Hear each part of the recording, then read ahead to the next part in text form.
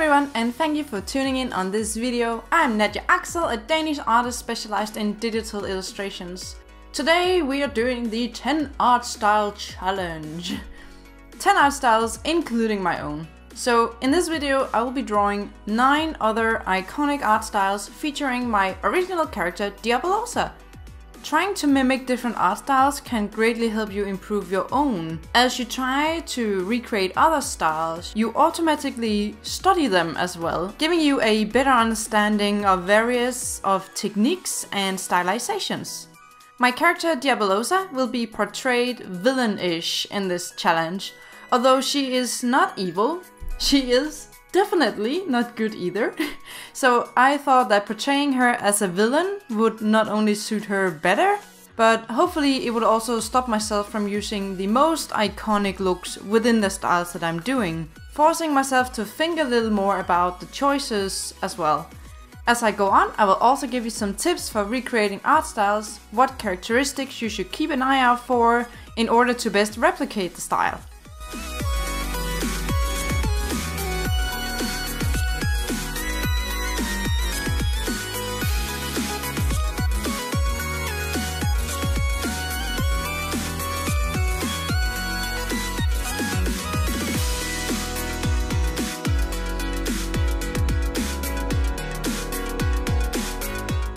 Okay, so anyway, now that Diabolosa is about done in my own style, let me introduce you to the next art style.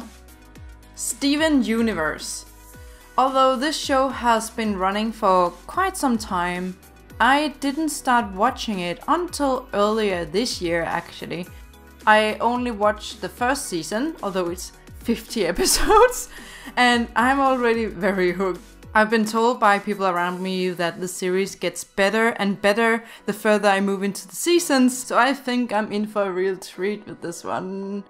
So, and in case you're wondering, my favorite character so far is definitely Garnet. She's just ultra cool, and I'm happy whenever she has any screen time. I didn't make Diabolosa into a gem, but if you know of any cool moon-related gems she could be, I'll take it. After editing the video, I realized that I actually forgot to paint her eyes yellow. Stupid me. So in the final version, by the end of the video, she will have the correct eye color. A tip for doing other styles are to look for very iconic features within the style. Yes, of course, it's the combination of all these little features that makes the whole art style, but if you feel like the character is a bit off, look for these small things. In Steven Universe, for example, they often have these poofy mouths drawn in a very certain way, so I definitely added that to a Diabolosa. Okay, next up is Gravity Falls.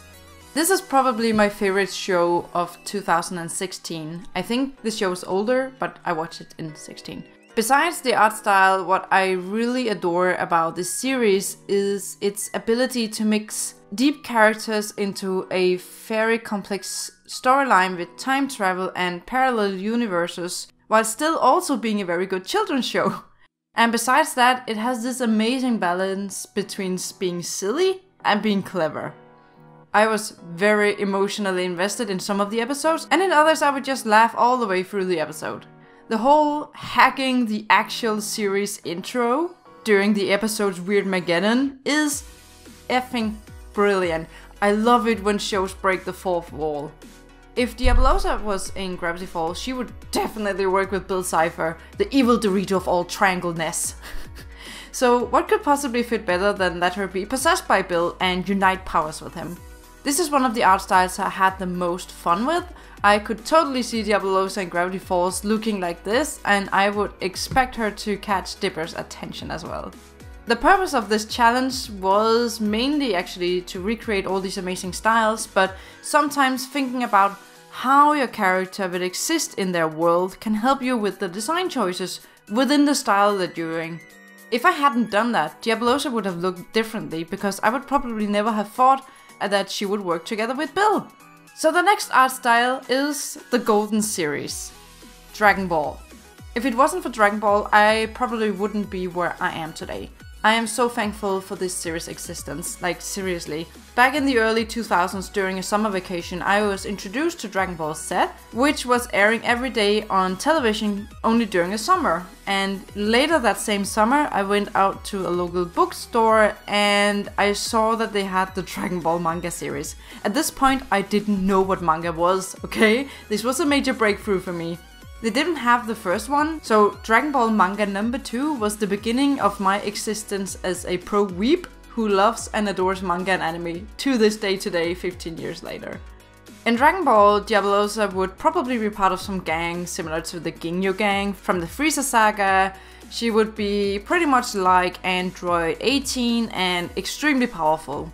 She would probably throw Goku and herself back into the past, and he would have to face her as a child before he was ever powerful enough to actually beat her. That would be awesome! I forgot to give her the earrings though, in both ears, so that's one of the things I'll have to correct on the final version. And when you're doing an art style challenge, look for things that you can copy almost directly. I know a lot of characters in Dragon Ball have pointy ears, and they're drawn almost identical each time, so I just found some references of pointy ears that I could copy. I actually found it quite hard to create pointy ears in the styles where I couldn't find an obvious reference. So look for things that you can reuse. The next very iconic style is classic 2D Disney. Let me stay on the subject and say that I forgot so many things during this challenge. I was kinda so focused on the styles that I often forgot important features on my own character. It's kinda embarrassing actually.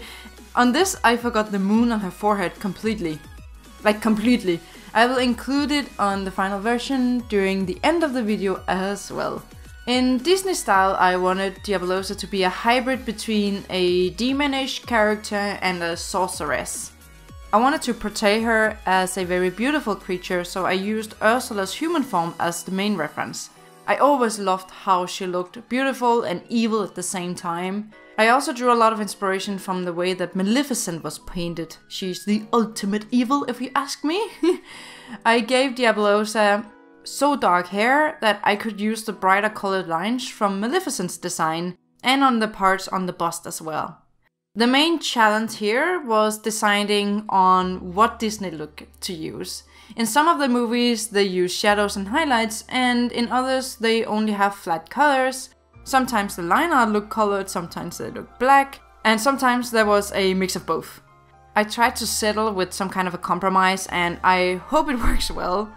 When doing an art style challenge, one of the things you can look for is whether the lines are colored or not. It might seem like a very tiny little detail, but even the smallest detail can turn out to be the difference between a good and a close to perfect resemblance of the style. So next up is the Sparkling Sailor Moon. I can't make an art style challenge without this extremely iconic shoujo style. Excuse me. I actually never watched Sailor Moon from start to end to my big regret. And when I was younger, I always just watched chunks of it here and there and never really understood what was going on. But I loved the style and tried to recreate it a lot when I was still just a very young artist. I actually recently started reading the manga, but I think I'm shifting over to the anime because who has time to read anymore? I find it a little hard to recreate this anime style because I'm very unsure about the line art. It's really hard to look at these old screenshots and then trying to determine how they did the line art. I can read about how they did it, but that doesn't really help me. So during this challenge, I used mainly two brushes to do line arts. They're from Kyle's Mega Pack under the manga folder. I'll put them on the screen here so you can see. These are completely free brushes, just Google for Kyle's Mega Brush Set.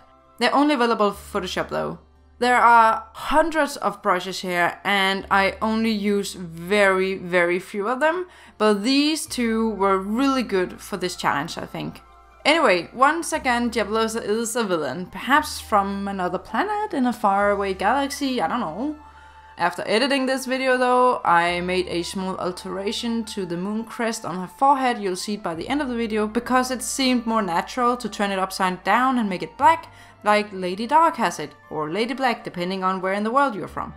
A little tip about shading in other styles. Try to notice the shapes of the shadows and highlights, and also how much darker or brighter they are from the main hair color.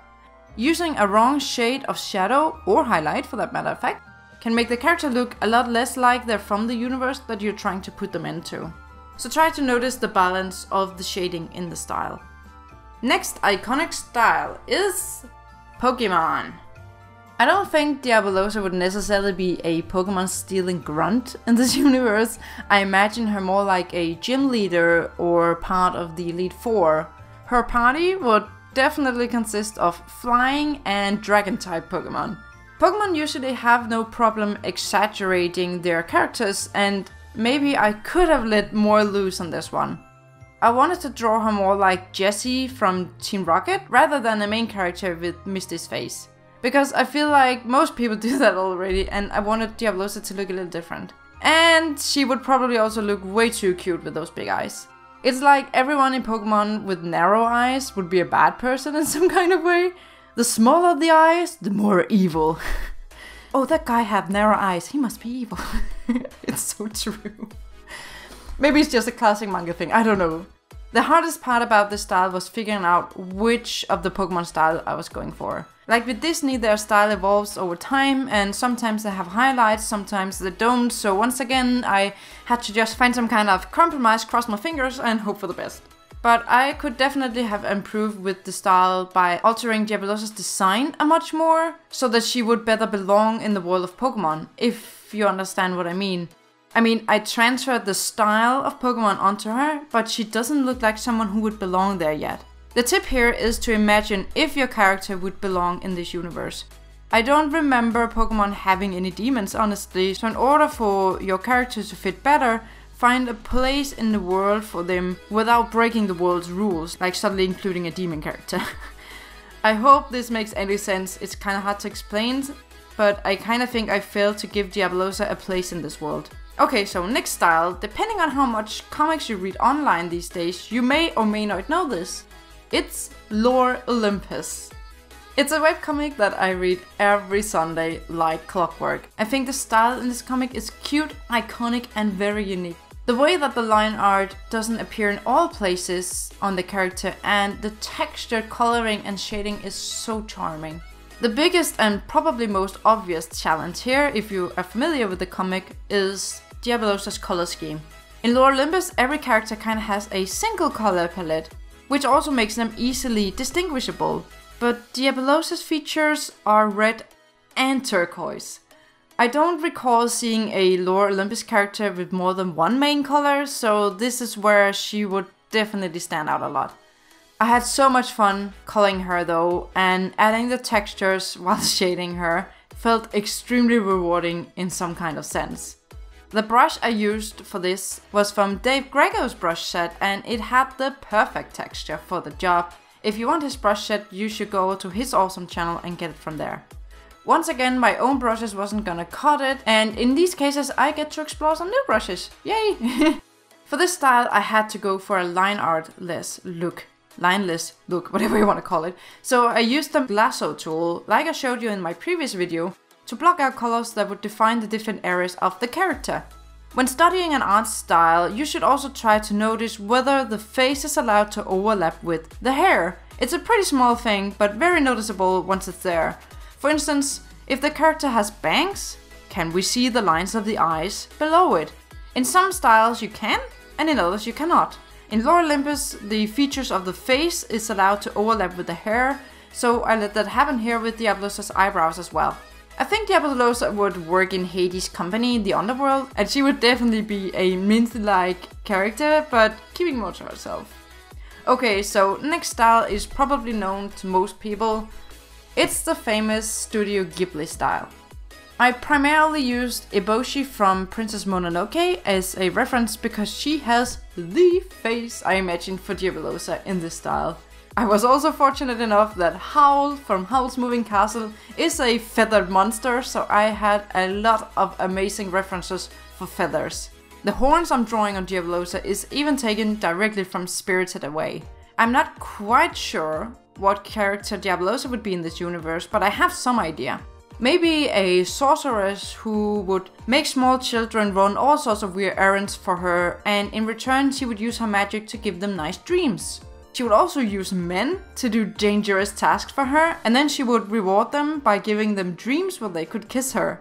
In reality, though, she would feed off their dreams and become stronger, and they would be left mesmerized and wanting to do just everything for her. But she would be incredibly sweet to children and probably have a soft spot for the main character as well, eventually using her powers to aid them on their journey at a great cost and a lot of sufferings for her. While doing the Ghibli style, I try to analyze the shapes of my references. The Ghibli style have a tendency to look roundish and very soft, and to use a lot of rounded shapes. The end of Howl's feathers, for instance, are rounded rather than pointy, and instead the shading on them are rather sharp. The hair is often also drawn from simple shapes, but rounded as well. These are all just small things that you could look for when studying styles. Okay, we have reached the final style. I'm almost out of breath. and what better than one of my absolute favorite series of all time, Rick and Morty. After watching the first episode of this shows, I kid you not, I kinda sat back on my couch trying to process what the heck I had just watched. I remember being so confused if I thought it was plain stupid or really clever. My interest had been poked though, so I continued to watch the show and it became one of my favorite shows ever. I love everything with time travel and parallel universes, so this series couldn't really miss. I think the series is extremely deep and clever. It doesn't treat the audience as morons and it really crosses some borders with some very serious topics sometimes. Diabolosa would definitely be an alien from another universe in this series, so I followed some references of some alien chicks alongside the iconic eyes and female mouths of the series as well. Doing this art style challenge has really taught me how to get an insight into other styles. I feel like I should have done this years ago and it really poked my curiosity into new techniques. I can definitely recommend trying to do this as well, especially while using a character that has some kind of story that you can try to project onto the world of the style that you're doing. Anyway, here are the final and fixed results. I can't believe how many times I forgot to add some kind of critical feature of Diabolosa. I am such a bad original character mom. I think my favorite style here is Gravity Falls, and there is definitely room for improvement on the Pokemon style. I don't know, what do you think? Which one do you think I did the best presentation of? And if you have a funny answer, I will pin your comment to the top. If you like this video, please give it a thumbs up, subscribe for more artsy fartsy content, and hit the little ding-a-ling ding-dong to get notified of my new content. And if you leave a comment as well, that would seriously be a huge support to my channel. So thank you so much for watching, and I will see you next time. Take care. Bye.